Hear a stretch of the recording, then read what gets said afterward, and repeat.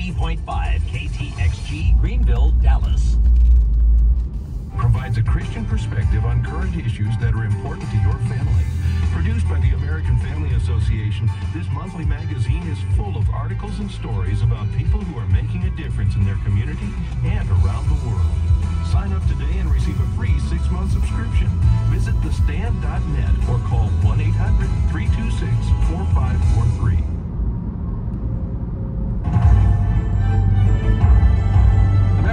News, I'm Robert Thornton. U.S. intelligence officials warn that foreign actors may try to provoke violence after Election Day. Here's Fox's Kristen Goodwin. The Office of the Director of National Intelligence revealing foreign actors, particularly from Russia, Iran, and China, remain intent on spewing disinformation to divide Americans and undermine their confidence in the U.S. democratic system. Officials say they expect these efforts to intensify in the lead up to Election Day, especially through social media posts, some of which are likely to be artificial intelligence generated or enhanced adding this could include attempts to stoke protests or violence after November 5th. China, Russia, and Iran have previously denied such accusations. However, American agencies stress the U.S. voting system is secure. Kristen Goodwin, Fox News. U.S. intelligence officials have also recently revealed that Russia was behind a false abuse allegation against Democrat vice presidential nominee, Minnesota Governor Tim Walz, circulated on social media. And Democrat vice presidential candidate Tim Walz was at a campaign stop in Madison, Wisconsin today. It takes stamina to run for president. It takes stamina to be president. And Donald Trump does not have stamina. He has been, he has been rambling more than the normal rambling. He calls it the weed. Former President Barack Obama was also there campaigning for the Harris Walz ticket.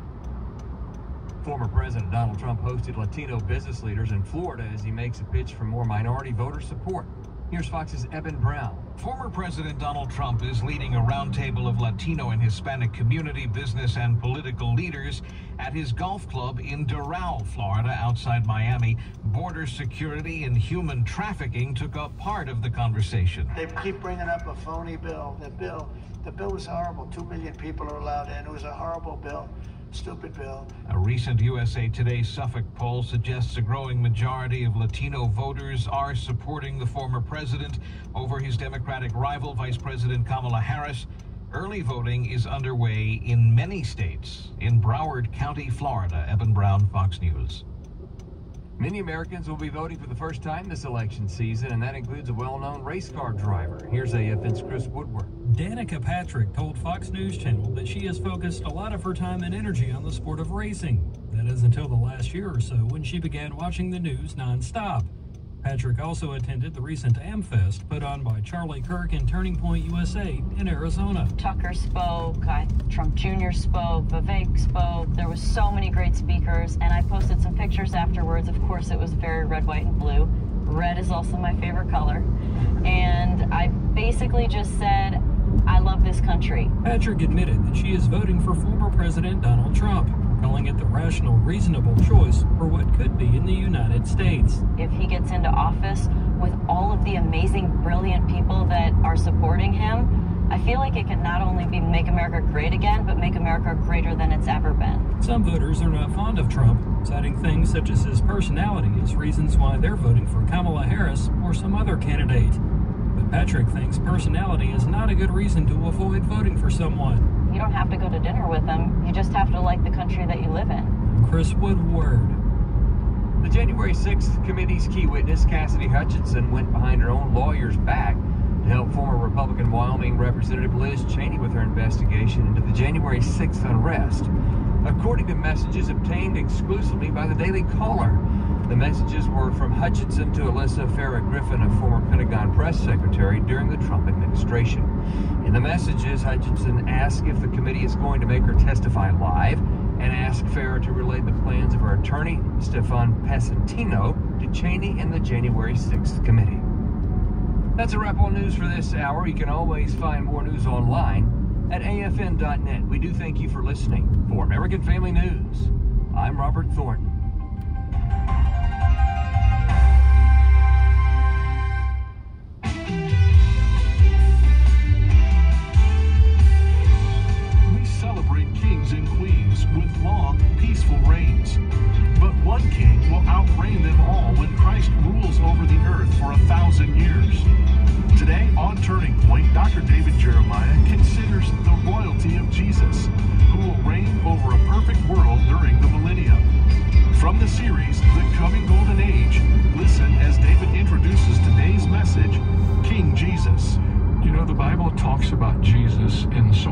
Different ways. He's the Son of the living God, He's the Savior, uh, He is the Shepherd, He is so many things according to the Bible. But the Bible also tells us He's King of Kings and Lord of Lords. And that really plays out into the millennium like nothing you can imagine. Today we begin the first of two radio broadcasts on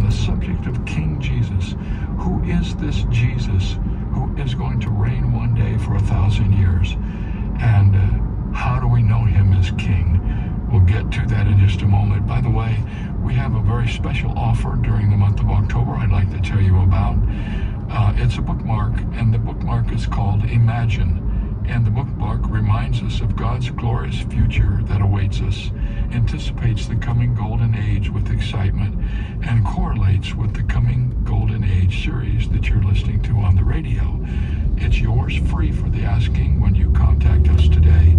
If other reason you want to get in touch with us, just say, please send me the bookmark, and we'll be happy to do it.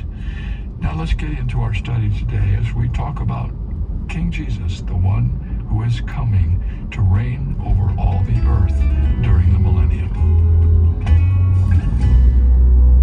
There's an, an incredible interest and curiosity about royalty. They produced the life story of Queen Elizabeth II, and Don and I watched that series. It was amazing. The longest reigning monarch in British history, and all the world paused when the word came of her death. Elizabeth spoke openly about her faith in Christ. One place in this movie, you see her talking to Billy Graham, who had been in London doing a crusade, and she invited him to come to the palace so she could interview him. In her 2011 Christmas broadcast, Queen Elizabeth said Jesus was born into a world full of fear. The angels came to frighten shepherds with hope in their voices. Fear not, they urged, we bring you good tidings, great joy, which will be to all people. For unto you is born this day in the city of David a Savior, who is Christ the Lord. In that same message, she said, it is through the lens of history that we should view the conflicts of today and so give us hope for tomorrow. I like what she said, but I want to change just one word. I'd like to suggest that it's through the lens of prophecy that we should view the conflicts of today and so give us hope for tomorrow. History is important, no question about it. The Christian faith is grounded in historical facts. The birth, death, burial, resurrection of Jesus Christ, that's history, profound history. But anyone can look backward. The only ones who can truly peer into the future are those who study the Word of God and what God has said in Scripture. In the Bible, He tells us what's going to happen someday. And the same Jesus who died and rose from the dead will come again and reign in this world. And he will reign for a lot longer than Queen Elizabeth. Queen Elizabeth was on the throne for a remarkable 70 years and 214 days. But King Jesus is coming to be on the throne for a thousand years. And if it be all right with you, I came here today to brag on my King, to brag on King Jesus, because he's my King. And understanding the return of Christ and his reign and what's going to happen when he comes to this earth gives us a great deal of hope for tomorrow. When we see what's going on today in America and Europe and Russia and China, especially in Israel and the Middle East, we realize the history of our times is moving in a prophetic direction. Perhaps sooner than we realize, this world will be under the political control of King Jesus. If Jesus were to come in the rapture today, just seven years later, we'd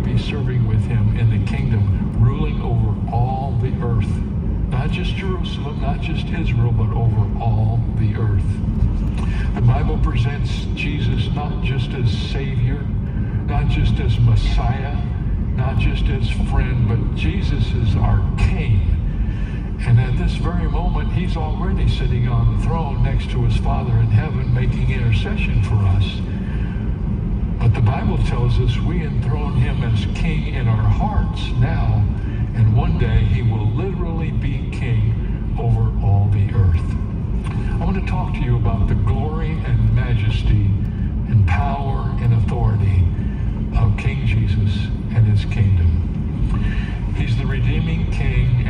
see that in the way he's addressed in the Bible. This is straight from the scripture, so let me just cycle through these names because they're all interesting. First of all, the Bible refers to Jesus as King of the Jews. That's interesting because it only is found in the Bible at the birth of Jesus and at his death. Remember, at the birth of Jesus, the wise men came, said, We are come to seek out he who has come as the king of the Jews. We want to know where's the king of the Jews. And then at his death, it was a discussion. When Jesus stood before Pontius Pilate, the governor asked him, Are you the king of the Jews? And Jesus said, It is as you say. Addressing the mob before him, Pilate shouted, Do you want me to release to you the king of the Jews? What then would you want me to do with whom you call the king of the Jews? And their response was, Crucify him. And Pilate handed over Christ for crucifixion along with a strange order for the executioners. He said, I want you to make a sign and nail the sign on the top of the cross. And this is what the sign said The King of the Jews. That was our Lord's title in his birth and in his death uttered by the Magi, the magistrates, the mob, the markings on his cross, and ultimately by the Master himself. Over the years, I've made a little hobby out of collecting the strange things that people write on their tombs. I have a little notebook that has some of them. One of my favorites is this. Here lies the body of old man Pease, buried neath the flowers and trees. But Pease ain't here, just the pod Pease shelled out and went to God. There you go. That's actually on somebody's tombstone. My king is the king of the Jews. But the Bible tells us also he's the king of Israel. In a similar way, Nathanael in John 1.49 said, Rabbi, you are the Son of God. You are the King of Israel. Sunday, when the men and women celebrated Jesus' arrival in Jerusalem, this is what they sang. Hosanna, blessed he who comes in the name of the Lord, the King of Israel. Five days later, as Jesus suffered on Golgotha, one of his enemies shouted sarcastically, if he is the king of Israel, let him come down now from the cross and we will believe him. According to this and other scriptures, Jesus is the only rightful everlasting heir to the throne of David. He's the king of Israel. He's the king of the Jews, and he's the king of Israel. And the Bible tells us, here's one I love, he's the king of kings. If you think you're a king, well, if you are, you're kinged over by King Jesus. Because he's the king of kings. In Revelation, there's a beautiful picture of this. Describes Jesus in heaven just before he returns. He has on his robe and on his thigh a name written, King of Kings and Lord of Lords. Yeah, we live in a disturbed world, men and women. Let's don't doubt that. Don't debate it. We know better. But none of today's politicians or leaders or villains or rogues will ever gain supreme authority, not even the coming Antichrist. All will falter, all will fail, for only Jesus is King of kings and Lord of lords. One day every knee shall bow and every tongue shall confess that my King is King of kings and Lord of lords. And then one of the things that surprises people about the kingdom, the millennium, the coming golden age, is that it won't just happen in the Middle East, but when Jesus sits on the throne in Jerusalem, he will govern the whole world. He will be in charge of everything that happens on planet Earth. That's why His fourth title is King over all the earth. The prophet Zechariah adds this title to our Lord. He says, The Lord shall be king over all the earth, and in that day it shall be, the Lord is one, and his name is one. When King Jesus is king of the earth, every knee shall bow and every tongue confess he will rule over the entire world. Finally, he's the King of glory. The last royal title